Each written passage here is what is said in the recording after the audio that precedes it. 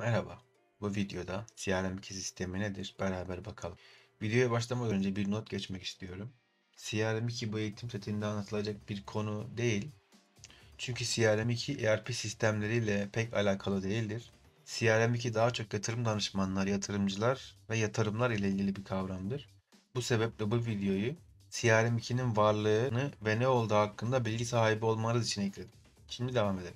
CRM2 nedir? Müşteri ilişkileri yönetimi 2'nin kısaltması olan CRM2, müşteri hesaplarının maliyeti ve performansı hakkında daha fazla şeffaflık gerektiren Kanadalı yatırım satıcıları ve danışmanları için kuralları ifade eder. 2017 yılının ortalarında tamamen uygulanan düzenlemeler Kanada Menkul Kıymetler Yöneticileri CSA tarafından müşteri ilişkileri modeli reformunun ikinci aşamasıydı. CSA, Kanada'nın il ve bölgelerinde düzenlenmeleri uyumlu hale getiren şemsiye kuruluştur. CRM2, finansal bilgilerin yatırımcılara ifşa edilme şeklini iyileştirdiği için faydalıdır. Temel çıkarımlar şunlardır. CRM2 veya müşteri ilişkileri modeli 2, yatırımcılara daha iyi açıklama yapılmasını gerektiren Kanadalı yatırım danışmanları için bir dizi kuraldır. CRM2, yatırımcıların portföylerinin performansını ve finansal hedefleriyle nasıl ilişkili olduğunu görmelerine yardımcı olmak için bir yatırım raporu gerektirir. CRM2 ayrıca hesaba yapılan tüm masrafların ayrıntılı bir listesinin de dahil olmak üzere son 12 aylık ücretleri içeren bir özel maliyet raporu gerektirir. CRM2'nin amacı nedir? CRM2, Kanadalı yatırımcılar için hesap performanslarına ve bu performansı elde etmek için gereken maliyetlere net bir bakış sağlayarak daha fazla şeffaflık yaratmayı amaçlamaktadır. Bu videomuzun da sonuna geldik.